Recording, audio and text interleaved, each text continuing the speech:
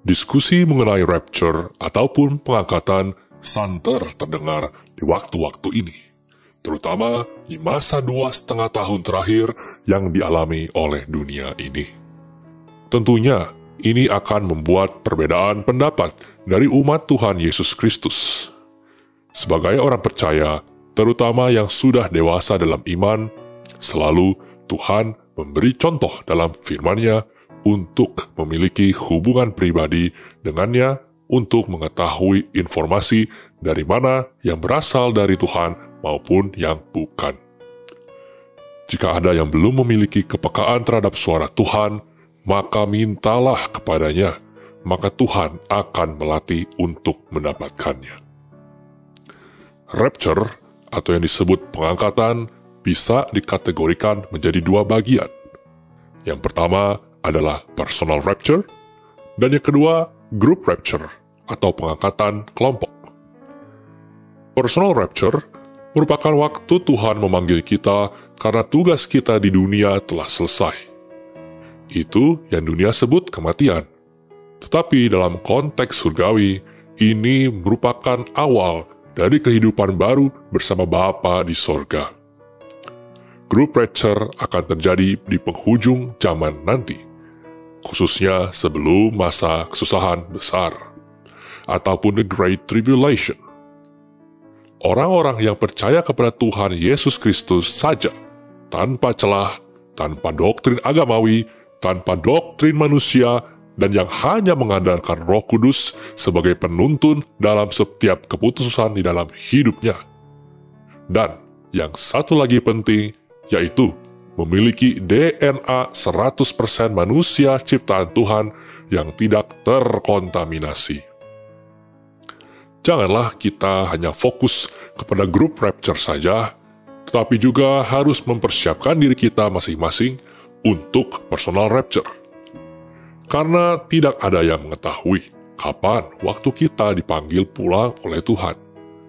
Yang harus kita lakukan adalah memiliki kesiapan hati dan iman jika Tuhan memanggil kita saat ini.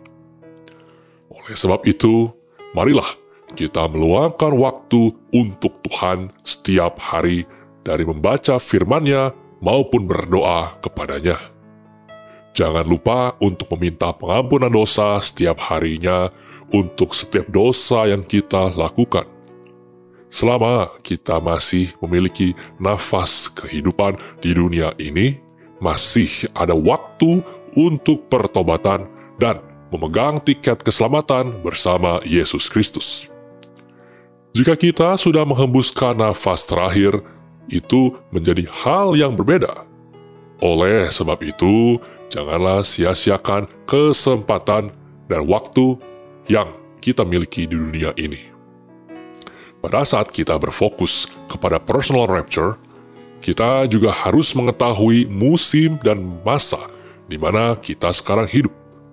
Karena group rapture juga bisa terjadi kapan saja tetapi akan ada tanda-tanda zaman yang kita bisa lihat.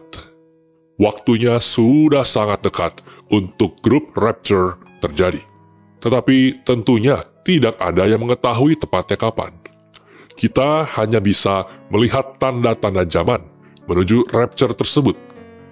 Bagi orang yang memiliki hubungan personal dengan Kristus, maka ia pasti akan mempersiapkan dan memberikan tanda-tanda jika waktunya sudah sangat dekat, seperti sekarang ini. Di waktu-waktu akhir sebelum rapture terjadi, dunia ini akan mengalami kemerosotan moral yang sangat cepat, kekacauan di mana-mana, wabah penyakit, dan hal-hal buruk lainnya.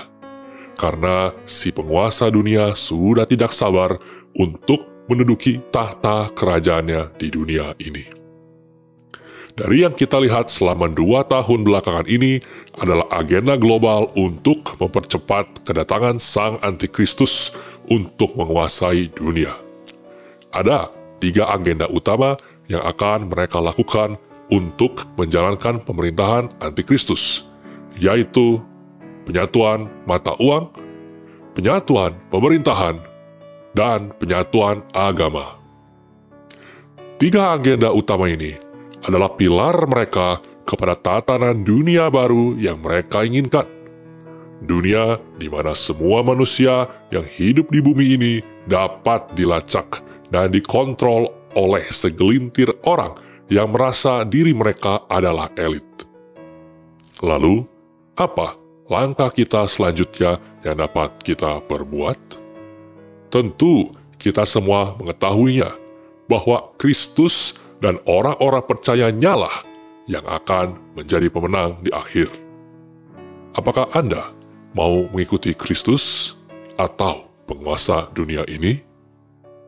Mari berjalan dalam kuasa Roh Kudus dan mengupas tentang peperangan spiritual. Subscribe YouTube channel kami dan nyalakan lonceng notifikasi serta follow sosial media kami untuk mendapatkan konten Kristiani secara reguler.